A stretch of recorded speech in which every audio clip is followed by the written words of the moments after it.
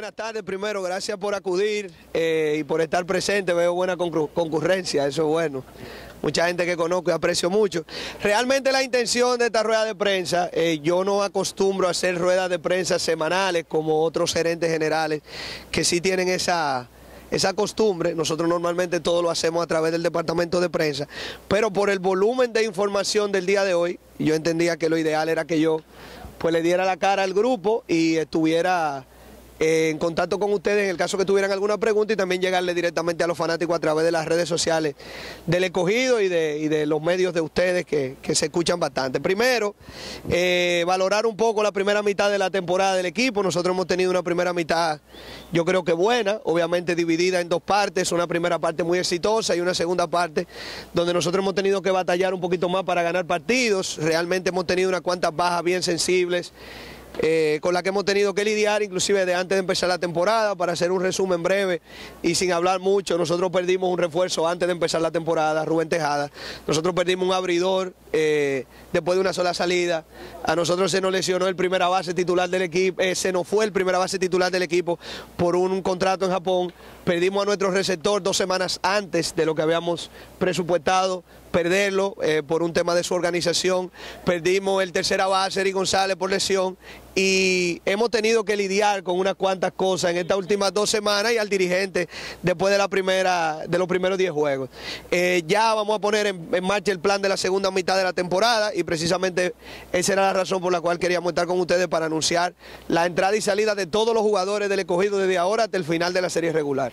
Eh, cuestión de que no haya especulaciones, de que no haya dudas, de que no haya eh, bache y para que la gente también sepa qué esperar durante estas próximas dos semanas. Voy a leer un poco para que no se me quede nadie. Nosotros hoy tenemos la entrada ya a juego de O'Neill Cruz, que está jugando hoy en el campo corto. O'Neill es probablemente el jugador de más talento crudo que el escogido tiene ahora mismo en el terreno. Un jugador que viene de jugar en la Arizona Fall League, un torpedero de 6 pies, 7 pulgadas de estatura, algo que yo creo que hay muy pocos en el béisbol eh, en este momento, y que es uno de los principales prospectos no solamente de su organización, sino de todo el béisbol.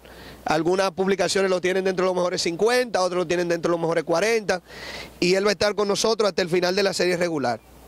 También está hoy Jimmy Cordero, lanzador derecho de grandes ligas, que tuvo tremenda temporada con White Sox y que ya ha tirado varias veces con el escogido.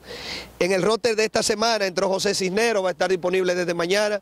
Viene a trabajar con un plan de su organización y no podrá lanzar en días consecutivos.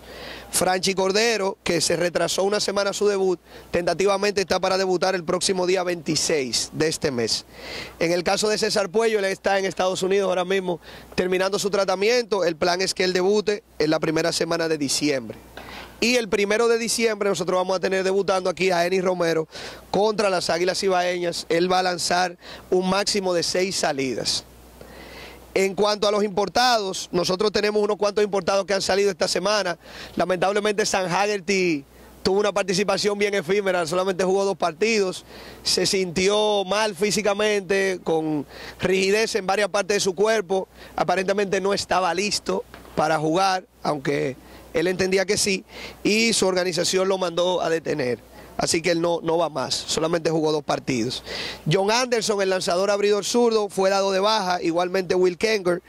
Josh Naylor va a cumplir su contrato el viernes. Él va a estar con nosotros hasta el final de esta semana.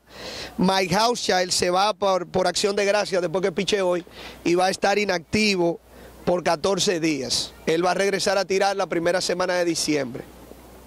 Y en el caso de George Luke, él fue sacado de roster, pero se mantiene inscrito dentro de la nómina de importado del equipo. Luke es un hombre que nosotros creemos que podemos recuperarlo, no ha estado bien, se ve un poco cansado, trabajó mucho en México y la decisión del cuerpo técnico fue desactivarlo por un tiempo.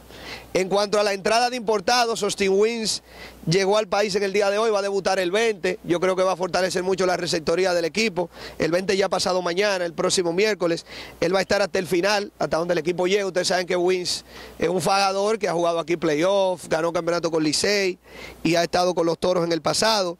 El lanzador zurdo Ryan Merritt va a llegar al país el miércoles, va a abrir el sábado para fortalecer la rotación, experiencia de grandes ligas, de serie mundial con los indios de Cleveland. Ryan Core va a llegar mañana. Él no está incluido en el roster semanal porque él va a ser incluido cuando Naylor salga. Él va a debutar el próximo sábado, tentativamente.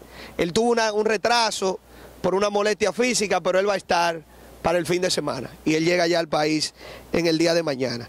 Nosotros contratamos al lanzador zurdo relevista Mike Antonini, que estuvo lanzando en México y en Liga Independiente este año con buenos números, tiene experiencia en el Caribe, llega mañana y va a estar disponible para el fin de semana. Ustedes saben que la semana pasada, una de las razones por las que nosotros no fuimos capaces de ganar un par de partidos, fue por la ausencia de un relevista zurdo ante la lesión de paredes. Quizá pensábamos que era una lesión de día a día, se tomó toda la semana, pero eso fue un llamado de atención de que nosotros necesitamos otro zurdo en el bullpen y estamos agregando a Antonini, que ya tiene mucha experiencia en el Caribe. Carlos Azuaje va a volver con el escogido otra vez. Él va a estar llegando al país en la última semana ahora de noviembre, después del Día de Acción de Gracias, para debutar de una vez la primera semana. Ustedes saben que Willy Castro solamente llega hasta el primero de diciembre, entonces ahí inmediatamente vamos a necesitar un poco de refuerzo en el infield. Y el otro jugador que firmamos, nativo, es a Samuel Adames, que estuvo con el equipo dominicano en el Premier 12. Él perteneció a la Estrella Oriental en un tiempo, estuvo lanzando en Japón con John Muri, un lanzador derecho que puede tirar múltiple innings y va a estar en el roster. Nosotros tenemos un par de semanas ya observándolo en la paralela y va a estar en el roster de la semana desde hoy.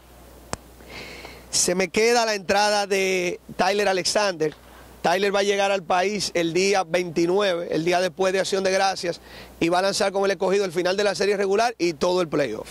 O sea que la rotación abridora de nosotros va a recibir una inyección de Tyler, de Eni y de Ryan Merry, tres abridores zurdos, dos de ellos con experiencia de grandes ligas.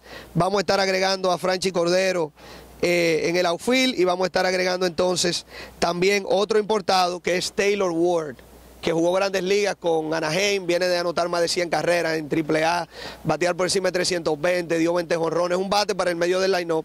Él estaba contratado desde antes de empezar la temporada para venir en esta fecha y va a venir después de acción de gracias. Puede jugar primera y puede jugar en el outfield también.